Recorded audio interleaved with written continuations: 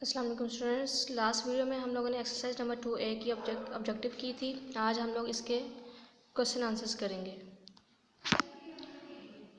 First question है हमारा which of the following numbers are divisible by four कह रहे हैं, बताएँ नीचे वाले नंबर्स में से कौन सा नंबर जो है वो फोर पे डिवाइड हो सकता है। फ़र्स्ट में मैं यहाँ पे आपके नोट्स में से दिखाऊँगी। आपको मैंने फ़र्स्ट क्वेश्चन लिया है यहाँ पे। One thousand nine hundred six सबसे पहले हम लोग इसकी फोर फोर का रूल लिखेंगे उसकी डेफिनेशन लिखेंगे। A number is divisible by four if the number formed by the last two digits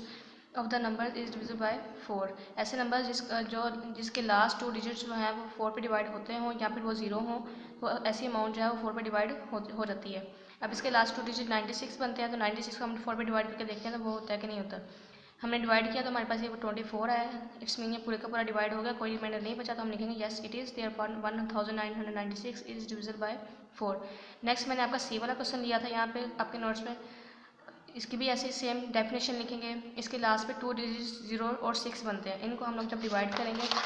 zero और सिक्स को फोर पे तो हमारे पास यहाँ पे टू रिमाइंडर आएगा। हम लोग, हमें यहाँ पे रिमाइंडर नहीं चाहिए। यहाँ पे रिमाइंडर आ गया। इट्स मीन ये डिवाइड नहीं हो गया। हम लिखेंगे no it is not therefore two thousand twenty three thousand six hundred six is not divisible by four next मैंने क्वेश्चन लिया। क्वेश्चन हमारा हमारा भी चौदह following numbers are divisible by six apply the rule and show the working यहाँ पे भी मैंने सबसे पहले आपका फ़र्स्ट क्वेश्चन लिया eight thousand six hundred twenty two पहले मैंने सिक्स के सिक्स के रूल की डेफिनेशन लिखी। A number is divisible by six if it is an even number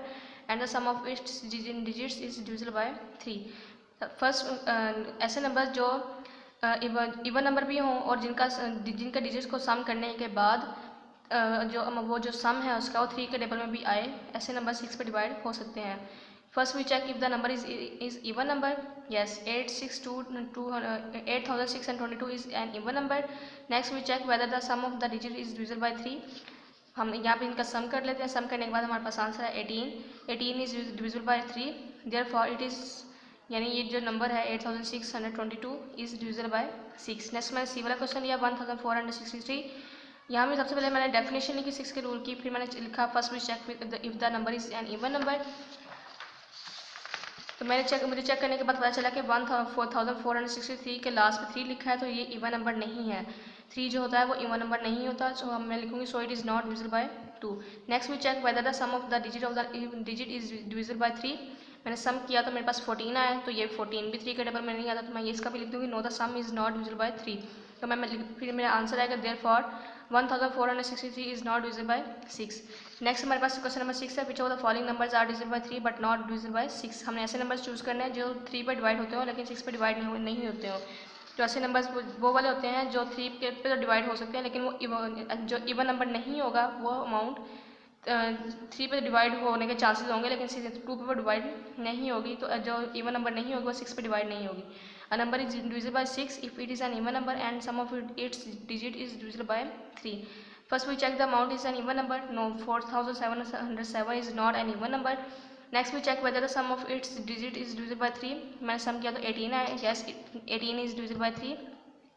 so the amount is divisible by 3 but not by 6 because the number 4707 is not an even number even number यानी even number होगी तो 6 पे divide होगी अगर even number नहीं होगी तो 6 पे डिवाइड नहीं होगी find the which of the following are divisible by 8 sum number 7 इसका मैंने सबसे पहले आपका लिया 4189 ए वाला क्वेश्चन लिखी स्टेटमेंट लिखी सबसे पहले a number is divisible by 8 if the number found by the last three digits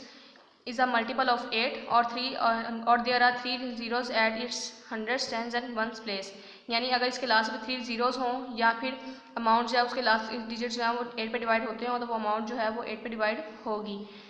ये मैंने लास्ट डिजिट्स लिए हैं यहाँ पे 189 को डिवाइड किया मैंने एट पे तो ये डिमाइडर आ गया तो मैं लिखूँगी no no 189 is not divisible by eight therefore four thousand one hundred eighty nine is not also not divisible by eight next मेरा सम है check with the help of the rule of divisibility which of the following are divisible by nine nine का rule आपको याद होगा कि nine का rule मैंने बताया था आपको कि नाइन का और उसका थ्री का रूल जो है वो सेम है। तो इसका भी फ़र्स्ट क्वेश्चन लिया मैंने one eight seven three if the digit of any number add up to a number which is exactly divisible by nine then the original number is also divisible by nine मैंने इनके numbers को digits को plus किया मैंने तो मेरे पास answer आया नाइनटीन नो मैं लिखूँगी no the sum of digit is not a multiple of nine so eighteen hundred seventy three is not divisible by nine अब जैसे मैंने आपको ये डोज बुक वाले जितने भी ये क्वेश्चंस करवाए हैं, इनमें से जितने भी बाकी क्वेश्चन बचते हैं, वो सारे के सारे आपने वैसे ही करने हैं, जैसे नोट्स पे आपको हेल्प करने के लिए मैं मैंने सॉल्व किए हैं। बाकी सारे रिमेनिंग क्वेश्चन आपने खुद सॉल्व करने हैं सेम ऐसे ही। शुक्रिया।